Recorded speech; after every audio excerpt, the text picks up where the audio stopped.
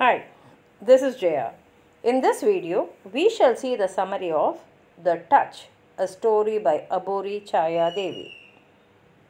Abburi Chaya Devi wrote this story as Parsha in Telugu. It is translated in English by K. Jayashree Mohan. Abburi Chaya Devi was one of the earliest feminist writers in Telugu. Her family was extremely orthodox and she took to writing as a means of self expression.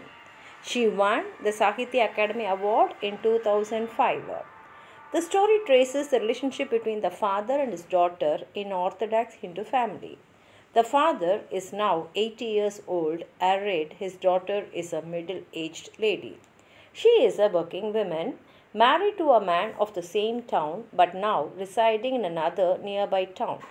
The father, who was 80 years old, now had poor eyesight. He was otherwise healthy but was weak due to his poor eyesight. He had lost his grown up son and left only with his daughters. His wife was also bedridden and his widowed daughter in law lived with him. His grandsons were working elsewhere.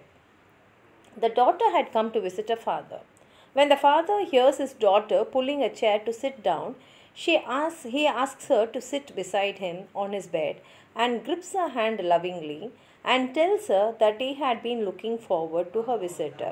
The daughter recalls her childhood days when her father had kept her at a distance in the name of Madi, that is, his orthodox way of life.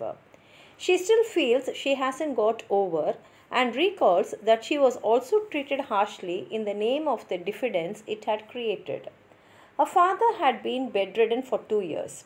She had managed to visit her parents when her husband had come to visit his mother in law. Sitting close to her father, she revives her faint memories of her childhood. When he stroked her hands lovingly, her eyes welled up with tears. During her childhood, she had longed for his loving touch, but she was treated harshly. She was still unable to feel free with him. When she had visited him for the first time during his illness, she had picked some bugs. Later, her husband had noticed a bug back home on their bed and had warned her not to sit close to her father. She knew that her father longed for his son. When her brother died, she hesitated to face her father due to some unknown feeling of guilt. Her father pleaded with her that if they moved back to his town, he could perhaps stay with them. She looked at him helplessly, couldn't reassure him with words either. Her father didn't speak again and silently stroked her hands.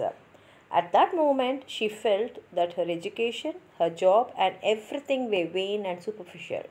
While returning home in an auto rickshaw, she was still haunted by her father's tender touch, and tears welled up in her eyes. If you have anything more to add on to what I've said, please write it in the comment box. Like the video, share it with your friends, and if you have not subscribed my channel, please subscribe and support. Thank you.